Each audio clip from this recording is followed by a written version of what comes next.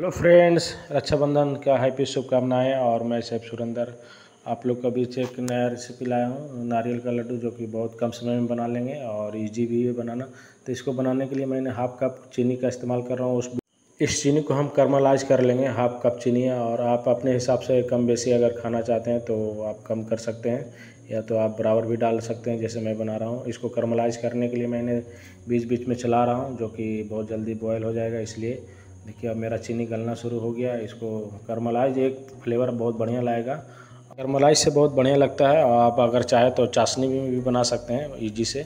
और मैंने इसमें एक कप घी ऐड कर रहे हैं, जो कि बहुत खस्ता भी लड्डू बनेगा, और घी के साथ इसका फ्लेवर बहुत बढ़िया आएगा, इसलिए मैं ऐड कर रहा हूँ। आप चाहे तो भी ऐड कर सकते हैं, या तो आप अगर चाहे तो नहीं भी कर सकते हैं, ये ऑप्शनल है।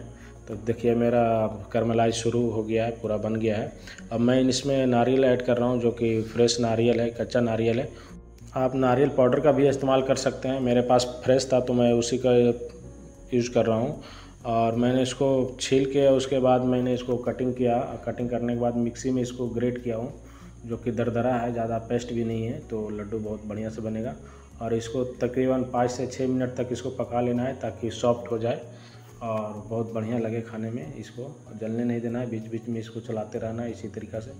देखिए, इसी तरीका आपको भी पकाना होगा ताकि ये लड्डू बहुत आसानी से बना सके। और वो भी गोल गोल, देखिए, मेरा हो चुका है। इसको और दो मिनट पका लेंगे ताकि अच्छा हो जाए और खाने में भी एक खुशबू लाएगा घी का। आप अगर चाहें तो इसमें इलायची पाउडर भी ऐड कर सकते हैं, मैं भी करूँगा।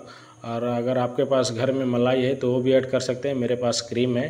मैंने उसी को इसमें यूज़ करूँगा तकरीबन 50 से 60 ग्राम तक, जो कि हम लोग के पास क्रीमी है मलाई नहीं होता है, इसीलिए।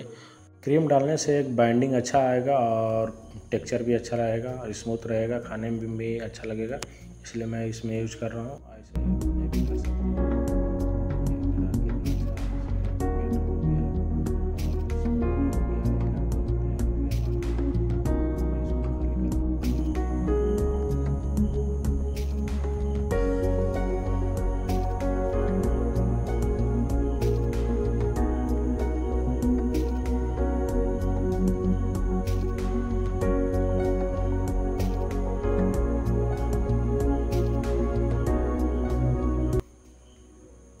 इसमें थोड़ा इलायची पाउडर ऐड कर रहे हैं, जो कि एक फ्लेवर अच्छा लाता है, इसलिए आपके पास है तो डालिए, नहीं है तो आप इसको भी स्किप कर दीजिए, कोई ज़रूरी नहीं है।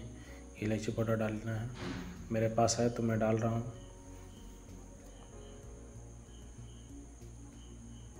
अब इसको खाली कर देंगे, ठंडा होने के लिए करीब पाँच से सात मिनट तक।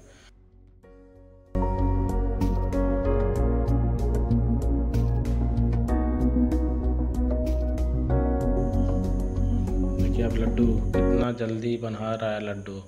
गोल भी हो रहा है, देखिए। इसको बांधने के बाद अगर नारियल पाउडर इसके ऊपर लगाएँगे तो और भी अच्छा लगेगा। कि जैसे कि मैं लगा रहा हूँ नारियल पाउडर। अगर आपके पास है तो लगाइए, नहीं तो फिर आप उसी में से थोड़ा बचा के रखिए तो रहेगा तो आप लगा दीजिए। और नहीं आपका अगर नारियल ऊपर से खाना चाहते हैं तो आप नहीं लगा सकते हैं। और ये मेरा लड्डू बनकर रेडी है, रक्षाबंधन के लिए स्पेशल है। देखिए, इसी तरीके बहुत जल्दी बन भी गया ये लड्डू और ज़्यादा मेहनत भी नहीं लगा। तो आप लोग ज़रूर इसको एक बार ट्राई करिए और ट्राई करके मेरे चैनल को सब्सक्राइब करिए, लाइक करिए और कमेंट करके ज़रूर बताइए कि ये लड्डू इजी है नहीं बनाने में। Thank you so much